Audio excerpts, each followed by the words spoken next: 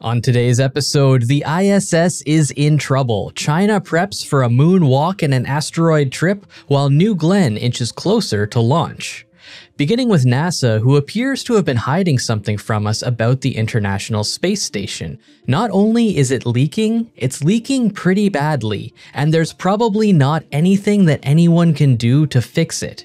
A new report published by NASA on September 26 confirms that management responsible for operating the International Space Station are highly concerned about a small module on the Russian side of the ISS. It's been leaking air out into space, apparently for years now. The PRK module is essentially a little tunnel that connects the Progress spacecraft airlock to the main Russian habitat module, Zvezda. Both Russian and American officials have reportedly known about the leak in the PRK since September of 2019. At first, the leak was relatively minor, less than one pound of atmosphere escaping per day, but in February 2024, NASA identified an increase in the leakage, reaching 2.4 pounds per day, and then by April 2024, the leak had increased to 3.7 pounds per day. What's even more troubling is that even after years of investigation, neither the Russians nor US officials have been able to identify the root cause of the leak. Apparently, their best guess right now is either internal or external welds. The current plan for mitigating the atmosphere loss seems to be just keeping the door closed on the Zvezda module that leads to the airlock, though eventually, if the leak gets any worse, which seems inevitable, then the docking port will need to be permanently sealed off. Now, the Russians do have a total of four ports on their side of the ISS, double the Americans, and I believe that's largely because the Russian segments provide most of the power, propulsion, and life support for the station, which requires more supply missions in addition to crew transfers. It's important to remember that what we're talking about here are microscopic cracks in the structure. It's not a catastrophic failure, not yet, but NASA insiders seem to believe that it could get there in the near future. According to a report from Ars Technica that cites anonymous sources within NASA, the Russian leaks are now scoring a 5 by 5 on the agency's risk matrix. Basically, the way this works is that you have one axis for the likelihood of a problem to happen and one axis for the consequence of that problem. So you can have a problem that's very likely to happen but very low consequence, like a clogged space toilet. Or you could have something that's very consequential but just as unlikely to happen, like getting hit by an asteroid. If Eric Berger's sources are correct, which they often are, then NASA believes the likelihood of a worsening leak are very high, and the consequences will be very bad for station operations. Apparently, the term catastrophic failure has been thrown around already. We know that the ISS is getting old, so that's no secret. It's about to celebrate a 25 year anniversary, and we know that it's scheduled to reach a final demise by the year 2030. But it's also entirely possible that we're not really being told the true cost and potential risk of everything that's going to be required to keep the ISS going until that time. China has just revealed their new lunar spacesuit design prototype, the nation's strongest signal yet that they are prepared for a crewed moon landing of their own in this decade. The new extravehicular activity suit was debuted by the China Manned Space Agency on September 28th, with a live demonstration that included a person walking around on stage and even performing a couple of squats in the suit, which is pretty impressive. If you remember when we saw Axiom reveal NASA's Artemis 3 lunar suit last year, that guy did have to use a support stick to perform similar activities. But he was also bent all the way down to the floor and he stayed on stage for a much longer time, so it's not exactly apples to apples. The Chinese suit is described as having a comprehensively protective fabric that shields against the harsh thermal environment and lunar dust. The helmet features a panoramic anti-glare visor and is equipped with both wide-angle and telephoto cameras. The suit's functions are then managed by an integrated control console on the chest. The red stripes that we see are a reference to Chinese artwork that depicts the flying Asparus, which is a celestial being in Buddhist culture. The overall design of the suit is supposed to draw on the style of traditional Chinese armor. China's current plan for a lunar excursion will have two of their astronauts doing a six hour walk on the moon. This will be aided by a planned lunar rover that will have a range of up to 10 kilometers with a top speed of 25 kilometers per hour. Officials say that these new suits are entirely designed and built in China, which is unlike the nation's current low Earth orbit spacesuit, which is heavily inspired and derived from an old Russian design.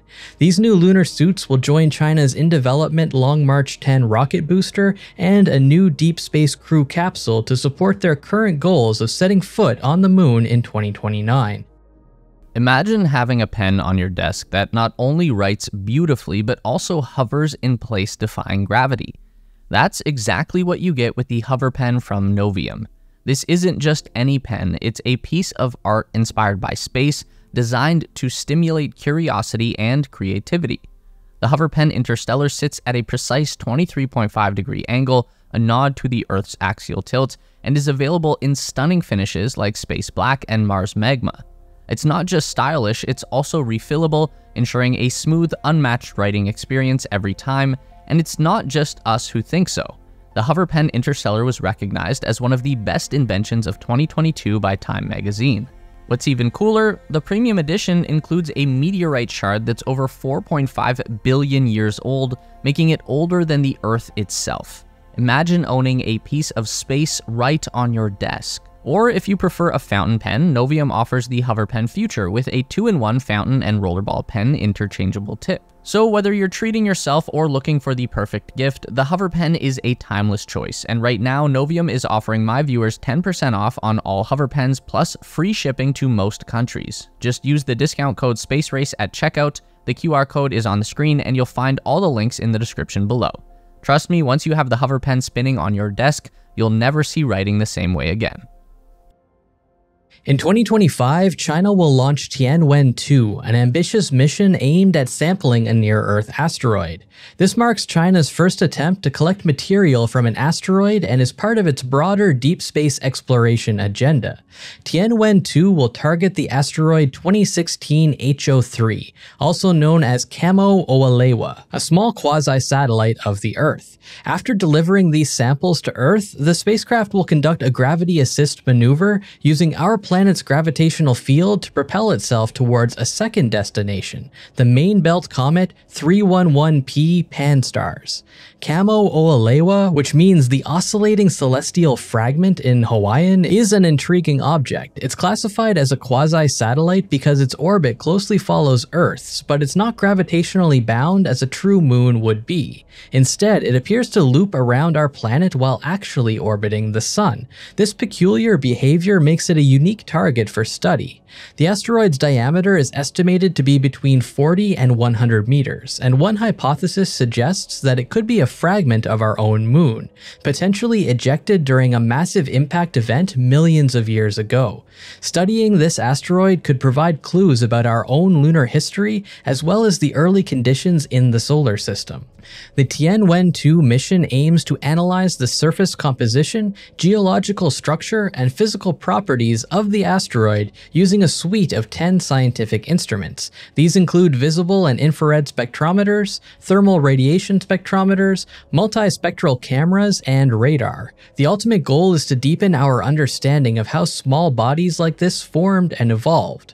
One key challenge in asteroid sampling missions is the low gravity environment, which complicates landing and collecting material. Tianwen-2 will employ two different sampling methods to overcome this challenge, the touch and go technique and the novel anchor and attach approach.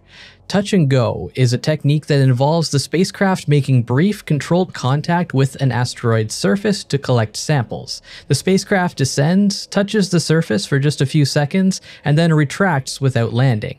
This approach minimizes the risks associated with prolonged interaction in a low-gravity environment, where maintaining stability is very challenging.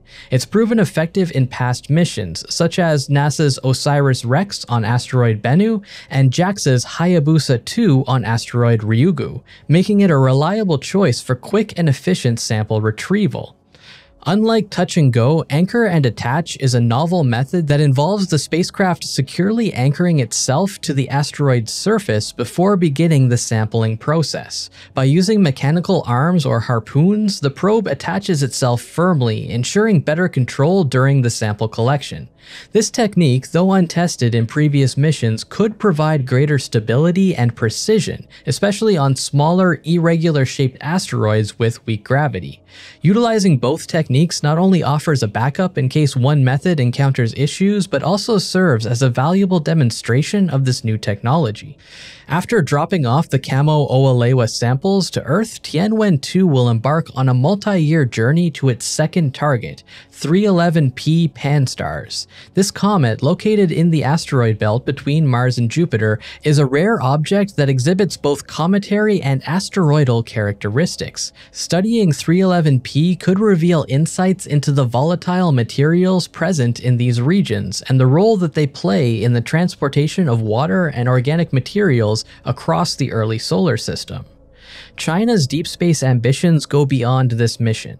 Plans for a Mars sample return mission, Tianwen 3, around 2028, and a Jupiter exploration mission, Tianwen 4, around 2030, are already in development. Additionally, the Chinese National Space Administration has emphasized that data from these missions, including samples from Tianwen 2, will be shared internationally.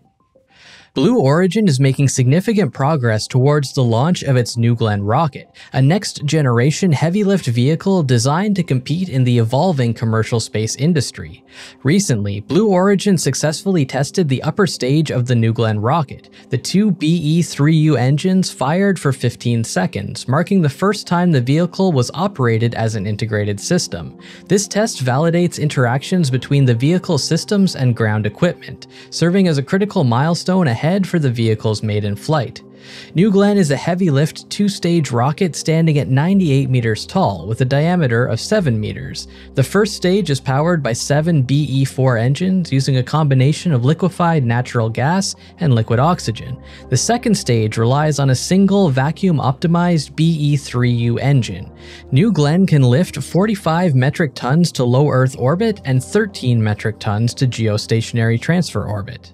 One of its standout features is a large 7 meter diameter fairing, which offers double the volume of traditional 5 meter fairings, making it ideal for accommodating large payloads and complex mission profiles. The rocket's first stage is designed for reusability, capable of being flown up to 25 times, and the goal of landing vertically on a moving ship in the Atlantic Ocean. When talking about heavy lift rockets, it's inevitable to compare New Glenn with SpaceX's Starship, given their similar ambitions in transforming space access. New Glenn represents a major advancement, but it faces strong competition from SpaceX. Starship has over double the low Earth orbit capability of New Glenn, and nearly 8 times the geostationary transfer orbit capability with in-orbit refueling. Additionally, Starship generates 16.5 million pounds of thrust at liftoff, more than four times that of New Glenn.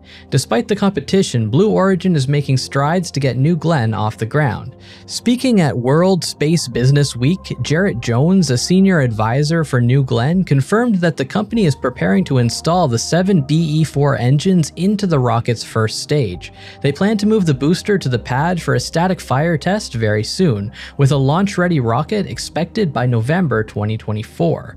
The first mission, designated NG-1, will no longer be carrying NASA's ESCAPADE mission to Mars as originally planned. Instead, it will serve as a test flight for Blue Origin's newly announced Blue Ring orbital transfer vehicle.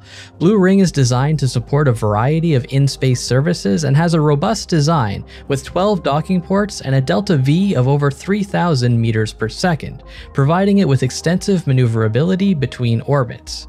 Its primary role is to deploy satellites in desired orbits, but it can also also host payloads of up to 3,000 kilograms, or even refuel other spacecraft. With a top deck capability of carrying payloads weighing up to 2.5 tons, it's designed to offer a range of in space services from transportation to acting as a fuel depot and even data relay and in space cloud computing.